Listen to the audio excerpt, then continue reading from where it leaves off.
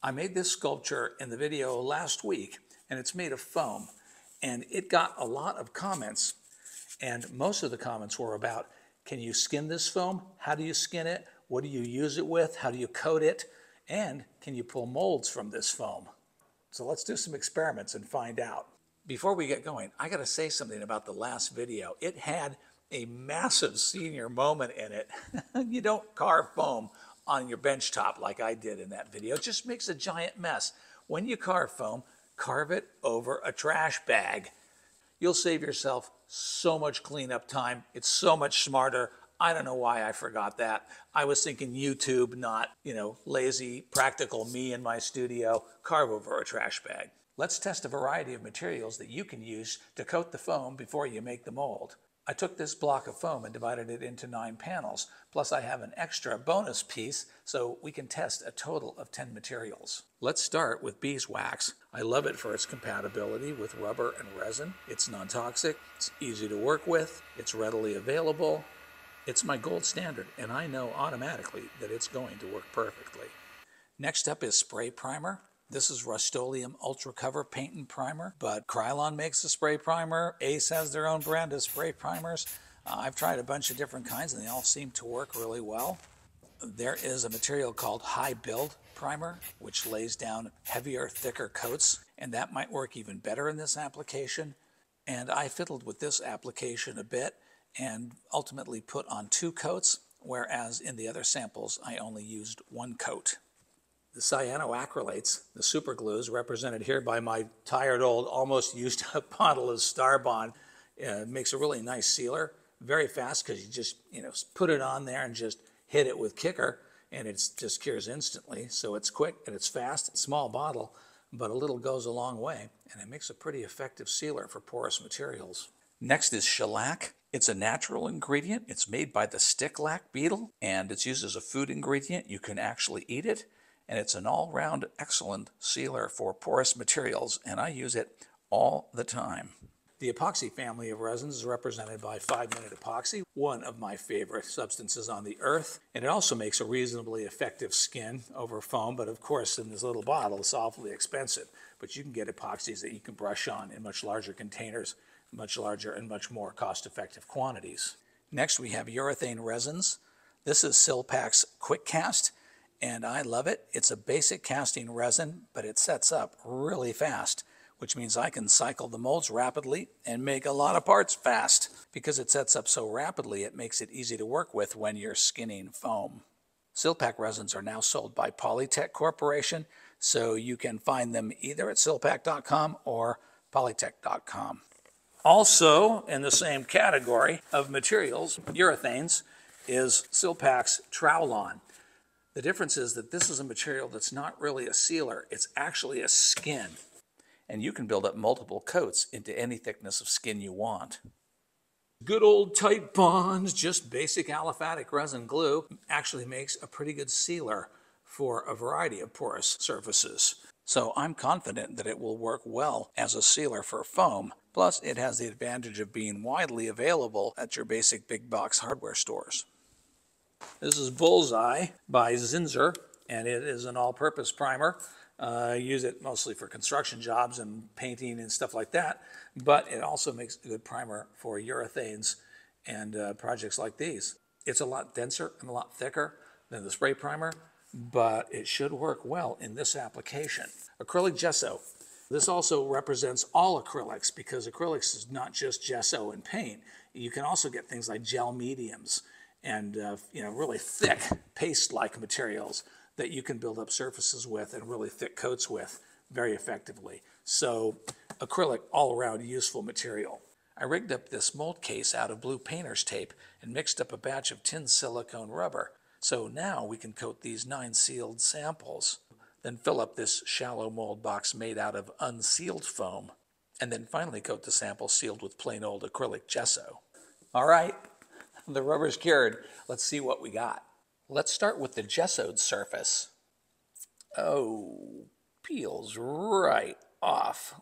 Absolutely clean, no problems. Let's get in close and take a look at this. As you can see, it captured all the details, but there's no foam sticking to the mold itself. It came out nice and clean. That means when you cast resin against that silicone rubber, it's going to perfectly duplicate the surface texture of the foam.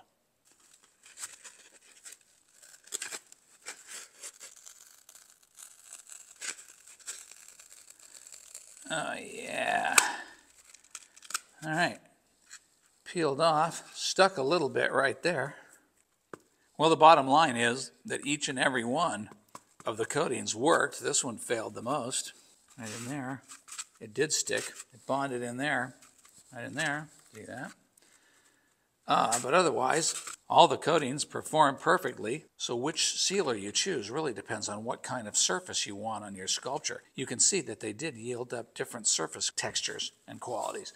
So you can actually use the sealer to have pretty good control over the kind of surface you want on your foam. Still, these surfaces are fragile. They're not hard. You can mash them with a, all of them. You can just mash them. This is that urethane shell material. This is urethane, just plain urethane casting resin. That's pretty hard. This is just primer. Now you can dent it. This obviously is dentable, dentable, dentable. None of these sealers provide any kind of surface protection and the piece is still obviously very fragile. So if you want a hard surface, a shell, you need to use a material that's designed to shell foam. Well, now that we know that the sealers work, the question is, do we even need sealers? So remember, this is unsealed. This is just raw foam and rubber. Let's see what we get. I'm Just going to pull it off. Uh-oh.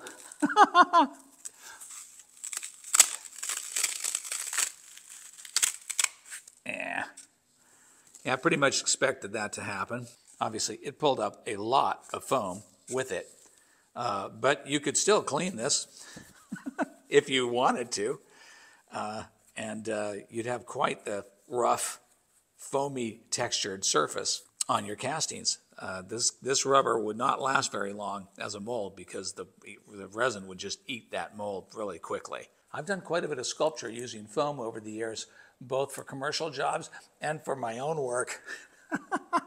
So I made this dude out of the exact same material that this guy's made out of, but it's also got a hard shell on it. It's durable. And that's because I skinned it with a shell of Trowlon. Now, I like the rough surface texture and did it deliberately, but you can apply this material so that it's smooth and precise. You can pretty much do anything you want with it. I made these pieces using a combination of foam with plywood pieces stuck in. I just cut recesses roughly cut recesses into the foam and slotted the plywood deep inside, just stuck it in there. And I filled up the gaps with magic sculpt just to make a nice clean edge between the foam and the wood. I mean, it's super light. You can make Christmas ornaments out of this. You can make all kinds of hanging stuff. It's just very light. In this case, the foam is just sealed up with gesso and acrylic.